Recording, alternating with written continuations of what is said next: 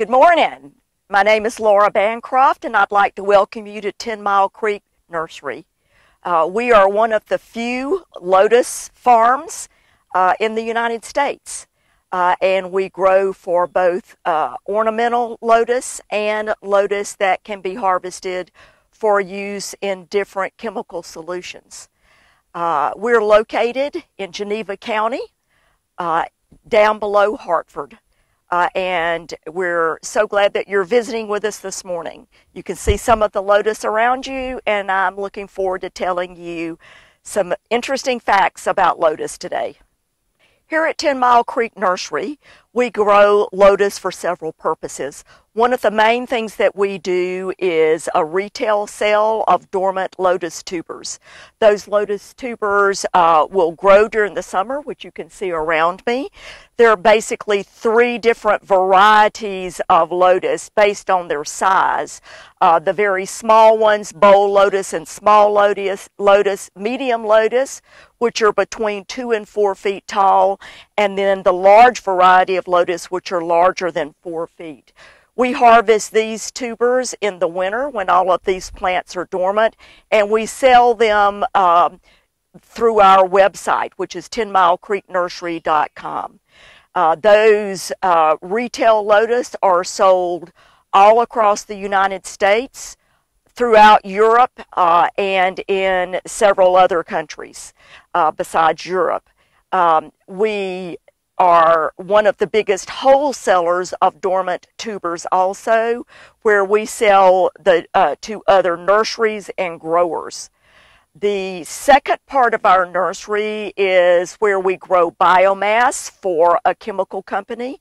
That biomass uh, is harvested in the summer, totally opposite of the ornamental lotus. The ornamental lotus, we want what grows below the water. For the chemical company, we harvest what grows above the water. We harvest lotus, for retail sale in January uh, when, the, when there are no green leaves on the pot. We sell those from March through May. We also replant the entire nursery. We have almost uh, 5,500 pots, which are harvested and replanted every year. Uh, they begin to grow when the weather warms up uh, and the days get a little longer. Their prime growing season is uh, late May through the 1st of August. Uh, and uh, at that time, we go through, make pictures, uh, and check and make sure we've got the right lotus labeled in the right pot, which can be a real feat when you're planting that many pots. So we harvest in uh, starting in January. It takes us through about the middle of March. We store those uh, tubers in walk-in coolers uh, over in a different facility, uh, and then we fill the orders as they come in for the dormant tubers. For the uh, lotus biomass, which is harvested for use in things like Coppertone suntan lotion, um, fresh makeup, uh, Aveeno suntan lotion, that biomass is growing in earth bottom ponds. Those earth bottom ponds uh, are, uh, we have about 17 acres of earth bottom ponds, uh, and that uh, biomass is harvested in the middle of the summer. In late July, uh, we will cut all of the biomass from the water level up uh, and then they we, we will fertilize it heavily and then it will grow back and we're able to actually have a second harvest uh, in the around the third week um, of August. Uh, so it grow once it starts growing and the weather's really hot, it will uh, reproduce very quickly. Uh, and it grows from runners under the ground. If you pull the plants up, if we were to flip one of these pots over, we would see active runners coiled around the bottom of the pot. When the plant begins to go dormant, uh, the and the days get shorter, it kicks into mode, a mode where those tubers begin to actually store starch and fatten up, so that they're ready to plant the next year. Uh, in the ponds, uh, we we don't have to do anything. We do not have to replant those. They come back from the tubers that are underground because we don't touch the tubers that are underground in the ponds. Uh, in those, all of those lotus in the 17 acres of pond, they are certified organic, um, which is quite a task because we're constantly fighting uh, insects that will destroy the leaves, uh, and uh, and also the weeds around the banks of the ponds. We were very blessed in the fact that our facility in the past was a tilapia farm, and so we basically converted all of the tilapia and catfish ponds into lotus holding tanks. So that's where we grow all of that uh, lotus for the biomass production. Last year we harvested about 45,000 uh, pounds of biomass, which was then processed on site uh, by the chemical company. They bring their mobile facility down to harvest it and process it. Uh, all of our ornamental lotus, which we harvest as dormant tubers, uh, they are not certified organic, so we can treat those easily, uh, and uh, they are simply just stored in the coolers. Um, we are to the point now where we grow all of our own lotus to replant all of our pots. However, every year I search the world for uh, new varieties of lotus, new cultivars of lotus to introduce uh, here on my website. Some of them are being introduced for the first time in North America. Uh, and so we bring some in every year However, I do grow them all out for a year or two to make sure they're actually suited to our climate because they come in from Vietnam, Thailand, China, and other places. Uh, and we need to make sure that they will actually live and be healthy in our climate. You know, a really interesting thing about lotus is that at some point during their lifespan, every single part of the lotus is edible.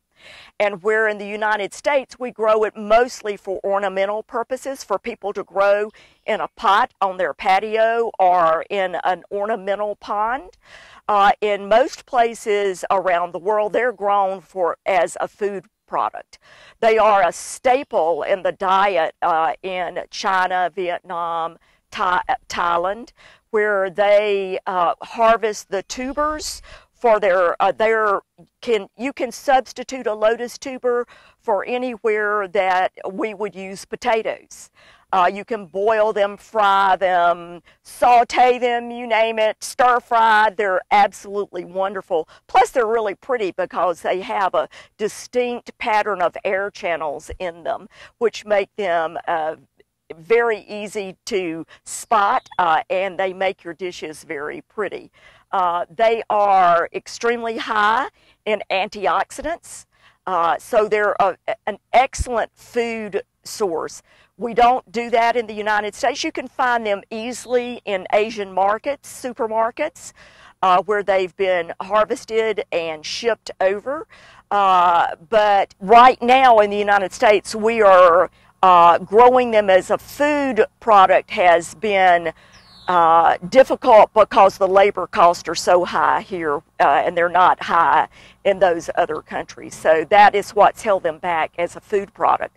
However, another thing, the seeds, this is a seed pod where the, the flower is already, the petals have dropped and the, the um, seed pod is beginning to fill out. The seeds, if they're fertilized, will become full and fill all of the little, uh, play, uh, little pockets in the uh, receptacle. The, all of those seeds uh, are a wonderful source of food. You harvest them when they're green. You can eat them raw, boiled, fried, candied. Uh, and so it's one of the things that you can always find in an Asian supermarket is bags of processed lotus seed. You can also dry them. Uh, and then when you, uh, they will string them uh, put them on a string, the dried lotus seeds, and then while they're cooking, if they need something to, to thicken a soup, they'll take that necklace of lotus seeds off, put it down, pound two or three of them with a mallet, and scrape that off, drop it into the soup. It'll rehydrate, and the starch in it acts as a thickener. So uh, they're they're wonderful plants, uh, very useful uh, and beautiful as well. One of the interesting things about lotus is that the leaves are hydrophobic. You can see when you put the water on there, they just roll up in a ball and go straight off. It has to do with the way that the the top layer of cells is laid down on the leaf. And they're doing a lot of research with this right now uh, to possibly use that technique in window glazing uh, on high-rise buildings so that you can just spray it. When every time it rains the water will catch the dust and roll it off.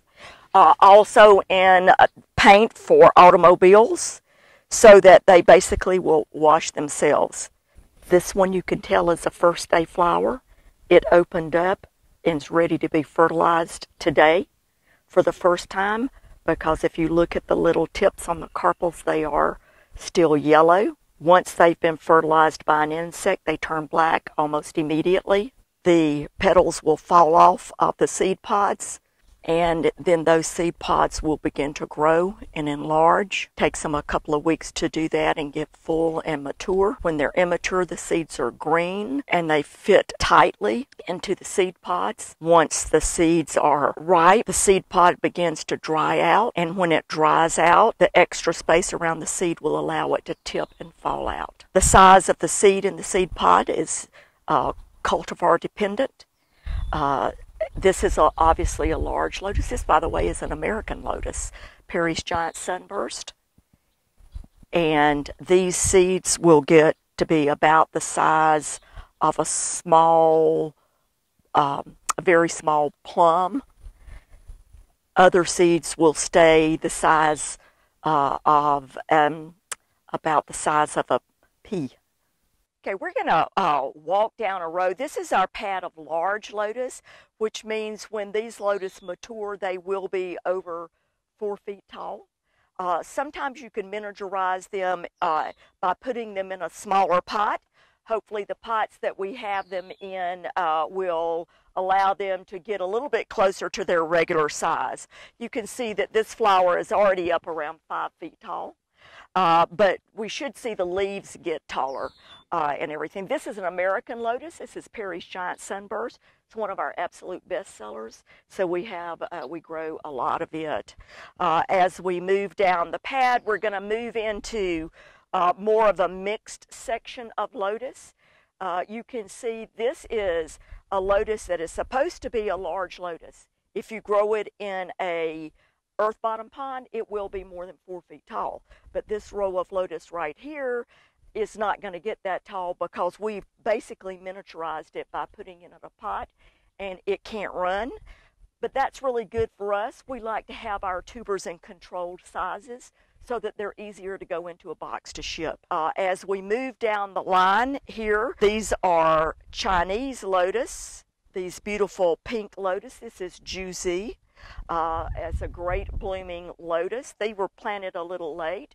Uh, and this lotus is Miss Perry D. Slocum, another American lotus. This is called a changeable because it will grow one color and then it will be, uh, as each day when the flower is open, it changes from pink to uh, uh, yellow with pink tips to pure yellow or very light yellow. This is uh, a pad of mixed lotus. There's four pots in a row. Every single pot has an identifying name so that when we harvest later, we know what was in the pot. And on this particular pad, which used to be a hoop house, obviously, uh, on this particular pad, there's probably 200 different varieties of lotus, uh, depending, and you'll see a lot of them are blooming. So we'll, we'll walk down. These are a variety of sizes. Uh, and what you'll see is if it's a smaller variety, I put it on the outside. There's a walk path here that allows it to get more sun. I put the taller ones in the middle so that the sun is, uh, they have, can equally get sun. Here's what the pots look like before they are planted. Uh, these are, um, when you come out here when we're just beginning to plant, every single pot looks like this. Uh, we just use sandy loam or topsoil in the pot. We put a slow release fertilizer in the, uh, in the pot uh, and then plant. And um, we kind of grow a little bit different than a lot of people would grow. Our purpose is to end up with a large production production of tubers. So once we get our plants big and healthy, when we get toward the end of the season, we begin to withdraw the fertilizer. Uh, we don't keep adding fertilizer. That way the plant gets hungry, kicks itself into tuber producing mode. So that, uh, because our purpose is to harvest a lot of tubers out of the bottom. Um, and so as you can see, as you go down, there's all different kinds. This lotus is known as a single petal lotus or a, or a few petaled lotus. Uh, a lotus with less than 25 petals is classed as a single petal lotus a lotus with more than 25 petals is classed as a multi-petal or double lotus flower. Uh, and so you sell them based on their size, their color, uh, and uh, their flower type. Uh, you can see over on those pretty light pink ones, those are called pretty flower They've got probably three to 400 petals, definitely a double petal.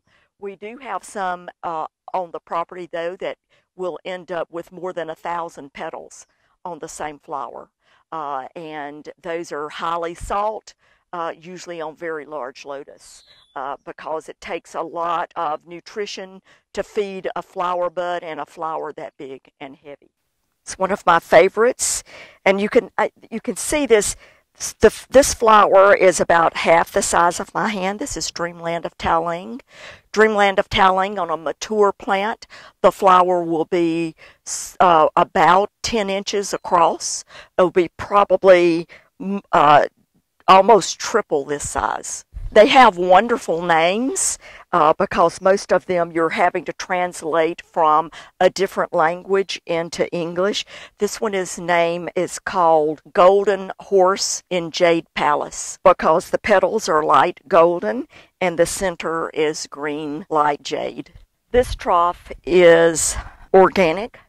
Uh, we use only approved chemicals uh, in this whole trough so that when I need seed lotus for my pond, I have organic tubers to put in them. This pad, this is kind of the newest craze in lotus, is a very small uh, lotus that you can easily grow in a pot about eight inches wide, um, six to seven inches tall, and sit it on a table on your patio or your back porch uh, and uh, and they they stay very small.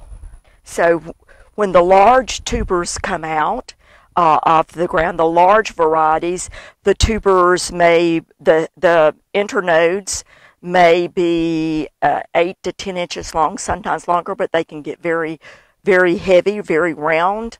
Uh, they look like sausages in a in a line, with the leaf tips growing out at each node. Uh, However, on these little bitty miniature lotus, the tubers may be just a few inches long. Uh, makes them very easy to ship uh, because they are so very small. However, they're extremely good growers. They they usually put them in the pot, give them a little bit of fertilizer, and just get out of the way, uh, and they'll grow very well. This pad is a mixture of medium lotus and small lotus again. These are basically, uh, if they're less than two feet tall, they're considered small. If they're less than 18 inches tall, they're considered a bowl lotus. They've already been through their first round of blooms, and we need to remove the spent leaves and the old seed pods, and then you'll get a fresh uh, blush of leaves and flowers. They'll do that periodically throughout the summer. Uh, all of our nursery lotus are on uh, an irrigation system, uh, timed irrigation system. Uh, that irrigation system generally, generally delivers either two gallons an hour or it will deliver a half gallon hour. Some of these smaller pots are on a half gallon emitter, but if you pull, if you look at them when you pull them up, there is a general a line, uh, um, water hose running down the middle. Each of them has its own spaghetti tube. And the emitter, the type emitter that is on here, that's connected, will determine how much water is released. Um, during the early parts of the summer when it's uh, cool and rainy, like it has been most of this spring, uh, you uh, set it, it runs maybe two to three times a week. In the hot part of the summer, in August, it may run every day for a half. Each each system runs for half an hour. Uh, there are uh, probably 15 different systems, uh, well, some of them are run off the same master panel, but they run independently depending on the size of the pot and uh, how much water needs to go in them.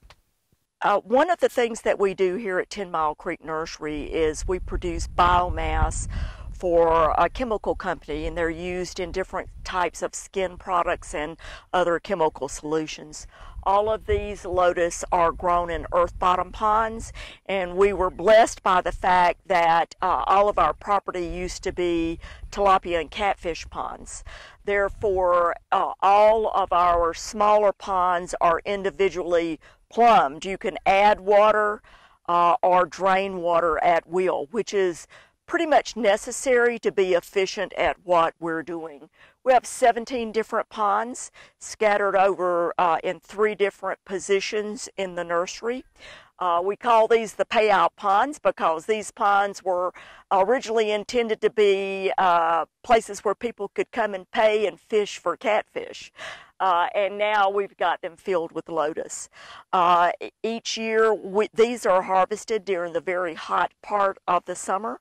We harvest once in mid uh, to uh, the about the third week of July. Uh, and literally, we drain the pond.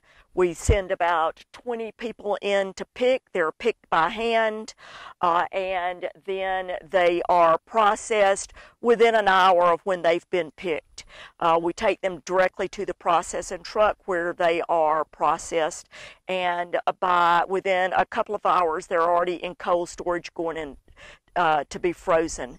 That product uh, is um, uh, they harvested a lot last year, and we're one of the businesses been heavily impacted by COVID because they have such a uh, a stockpile of the product from last year that they're not even going to harvest this year. So what we're looking at now is a pond of lotus that has not had any fertil uh, fertilizer applied to it this year. So the leaves are uh, much smaller than normal and the volume in the pond is much smaller than normal.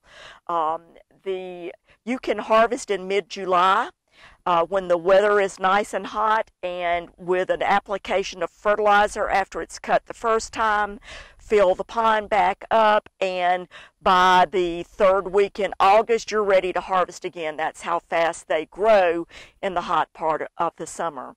Uh, we generally do two harvests uh, each summer. All of these, once again, are certified organic. So we're inspected every year. Uh, we test the water, test the soil, uh, and we only have specified uh, chemicals that we can use uh, in our um, organic ponds. We were really blessed here at Ten Mile Creek Nursery because uh, our whole lotus farm uh, was an offshoot of the Auburn University Lotus Project, where they did research on dual cropping lotus, edible lotus tubers uh, in catfish ponds uh, along the Black Belt. uh, they thought that that would be a good second money crop for fish farmers. Uh, however, once again, we were it was a prohibitive project in the United States because of the cost of labor to get the tubers out. Uh, however, that morphed into growing ornamental lotus. Uh, and when the Auburn University Lotus Project closed, we were the recipient of 25 or different 30 different cultivars of lotus because they were going to be thrown away. And that's how we went into the lotus business. There are very few lotus farmers uh, in the United States. It's a very small market uh, compared to other types of farming. Uh, but we have been blessed uh, by uh, using the extension services uh, and the expertise that they provide in soil testing and water testing and identifying strange pests for us. Uh, and then they have whenever we have something, uh, a strange project comes up, uh, I call my extension service agent and he helps me uh, dream up ways to either farm it or harvest it because it is something that's totally new.